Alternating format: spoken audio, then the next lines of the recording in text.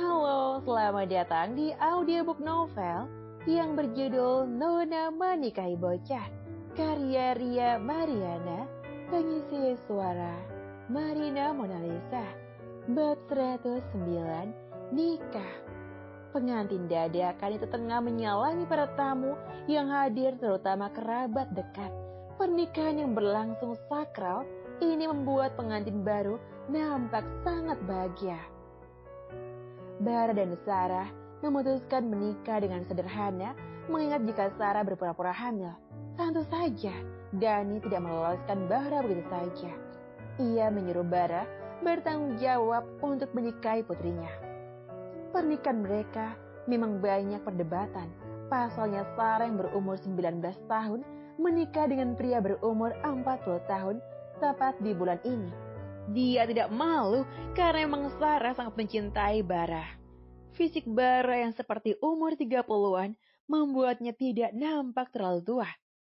Um, Om Bara, setelah menikah lalu apa? Tanya Sarah. Bara menekan alisnya. Ya menjalani kehidupan sebenarnya. Ini kan permintaanmu juga. Kenapa harus pura-pura hamil? Om jadi terkena jeleknya. Sarah menunduk. Tangannya melintir kebaya putih yang melekat pada tubuh cantiknya. Di atas pelaminan, mereka duduk diam setelah menyalami beberapa tamu penting yang hadir. Aduh, jadi nanti malam aku harus melepaskan kesucianku untuk Om Barah. Kok aku deg-degan ya? Bisa ditunda nggak sih? Sarah, yuk kita turun.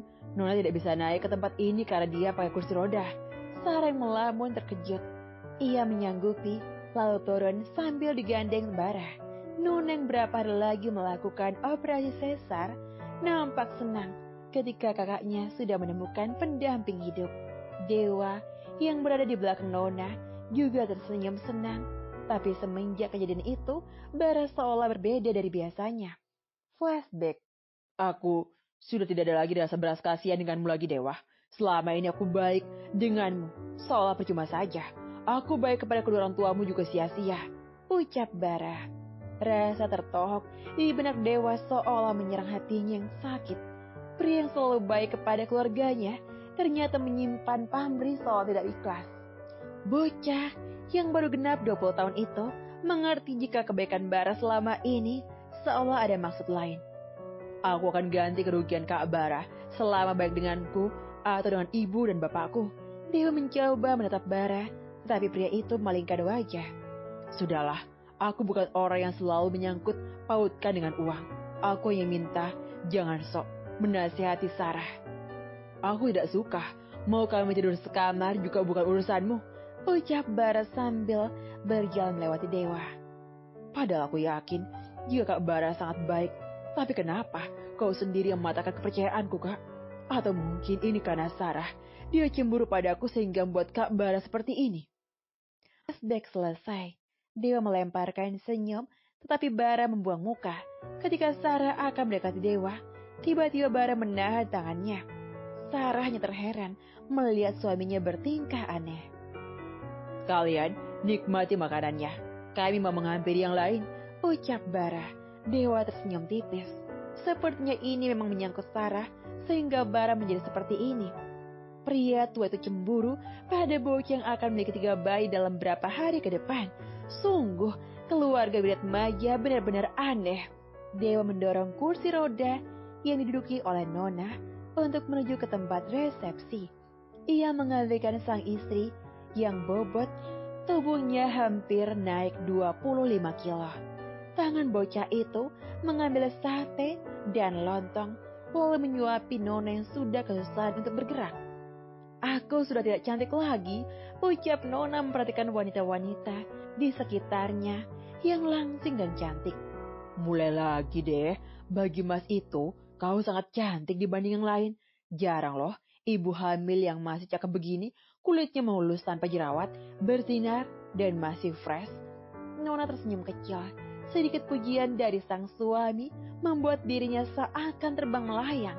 Ia memang sangat suka dipuji oleh dewa. Saat bersamaan, ibu tirinya menghampiri mereka sama seperti biasa, beliau bersilat lidah merayu dewa. Menantuku, ibu sisakan sate buah untukmu. Ibu juga dapat souvenir dari teman ibu. Nanti berikan untukmu. Cocok juga buatmu yang begitu tampan. Dewa hanya membalas dengan anggukan. Menantuku, haha, sebelum tahu jika dirinya kaya saja, dianggap menantu. Juga tidak, dasar penjilat. Ibu juga tampak memperkenalkan Dewa kepada teman-temannya. Ia hanya mengikuti permainan mertuanya. Bapak dan ibu Dewa juga datang. Mereka memang belum tahu identitas Dewa sekarang. Dewa masih menyembunyikannya dan belum ingin mengecewakan kedua orang tua asuhnya. Di apartemen, setelah menghadiri pernikahan kakak iparnya, mereka pulang ke rumah. Di kamar mereka sudah penuh dengan perabot bayi. Kamar yang begitu luas, mereka manfaatkan untuk sekalian menjadi kamar bayi-bayi mereka. Beberapa saudara sudah membelikan baju dan sebagainya, sehingga mereka membeli baju beberapa pasang saja. Mas, beberapa hari lagi pasti rumah kita akan jadi ramai. Iya sayang, Mas jadi gak sabar. Dewa terlihat memasang pernak-pernik cantik di atas ranjang calon si buah hati. Nona yang duduk di atas tempat tidur memperhatikan sang suami yang begitu antusias. Mas, sudah setahun lebih kita bersama. Aku tidak menyangka jika kita memang berjodoh. Kupikir Mas Dewa itu hanya bocah ingusan yang bertingkah konyol.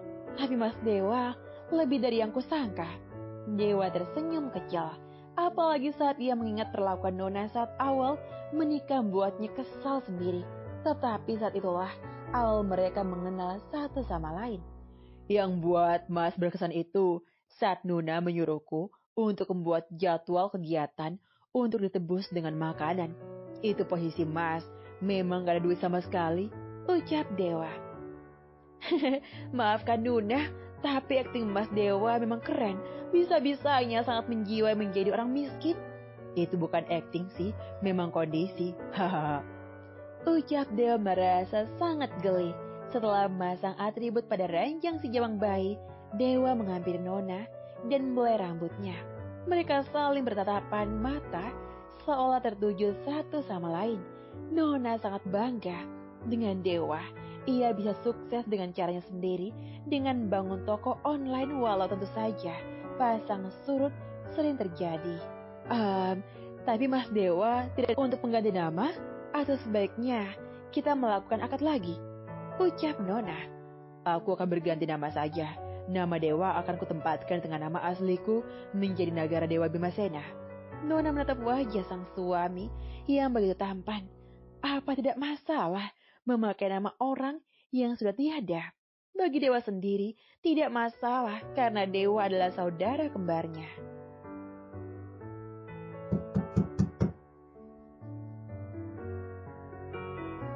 Kepala mereka sama-sama menoleh ke arah pintu Dewa yang refleks berdiri langsung bukanya. Dilihatnya sahabat gaib. Eh, sahabat karibnya yaitu Nafian datang sambil membawa mangga muda pesanan Dewa. Eh, dapat di mana? Tanya Dewa. Ali yang jadikan. Oke, aku mau balik dulu. Makasih kak. Dewa menutup pintu lalu menghampiri Nona yang tiba-tiba ingin makan mangga. Nona tersenyum senang, lalu menyuruh Dewa untuk mengopaskan. Hari terakhir makan mangga, besok-besok setelah lahiran gak akan makan mangga lagi, ucap Nona. Peringatan, ada adegan panas, hanya cocok dibaca malam hari, yang puasa stop baca. Hmm, Sarah melengut tatkala suami barunya sedang menggagahinya dari belakang. Dia harus menahan bobot pria yang jauh lebih berat darinya. Tubuhnya terhentak menikmati setiap permainan ganas dari barat. Tangannya meremas spray putih yang bercampur bunga bertaburan di kamar pengantin itu.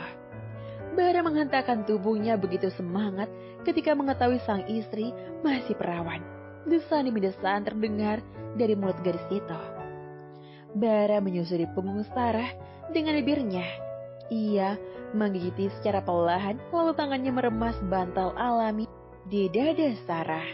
Sarah semakin tidak bisa terkendali dan hanya bisa pasrah mendapat perlakuan mesum dari suaminya. Keduanya terus beradu dengan suara saling bersahutan. Om, cepetan dong, capek.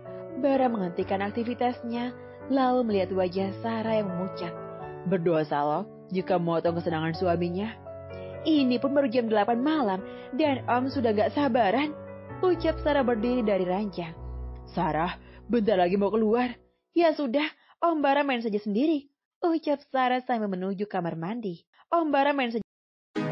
Kalau kamu mau dengar audiobook lebih banyak dan gratis, segera download AudioTune